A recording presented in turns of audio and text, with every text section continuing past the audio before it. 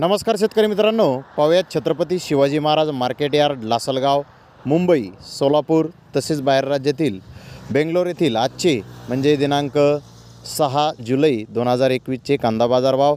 सुरुवात करूयात नाशिक जिल्ह्यातील महत्त्वाची कांदा मार्केट असलेलं लासलगाव येथून. लासलगाव येथे आज बाजारभाव कमी झालेले पाहावयास मिळालेले आहेत. नऊशे तेरा हजार पाचशे क्विंटलची अंदाजे उन्हाळ कांद्याची आवक आत्तापर्यंत लासलगाव येथे दाखल झालेली आहे.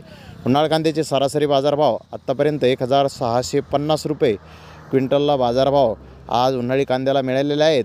तर एक अर्ध वक्कल एक हजार नऊशे एक्केचाळीस रुपये क्विंटलपर्यंत उन्हाळ कांद्याचं लासलगाव येथे आज आत्तापर्यंत विकलं आहे.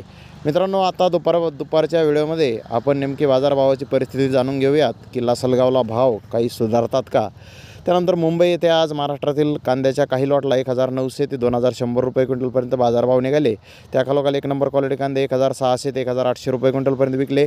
नंबर दोन क्वालिटी कांदे एक हजार तीनशे ते एक हजार पाचशे रुपये क्विंटलपर्यंत विकले.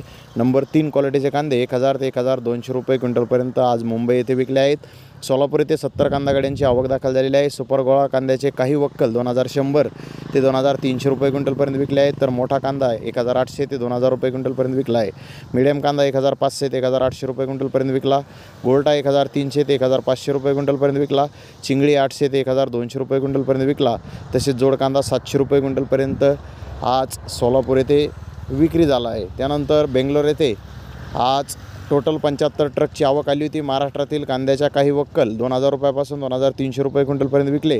तर ॲव्हरेज क्वालिटीचे महाराष्ट्रातील कांदे एक हजार पाचशे ते एक हजार नऊशे रुपये क्विंटलपर्यंत आज बेंगलोर येथे विक्री झाले आहेत. तर धन्यवाद मित्रांनो आपण माझा व्हिडिओ शॉटपर्यंत पाहिल्याबद्दल. व्हिडिओ आवडल्यास लाईक करा शेअर करा.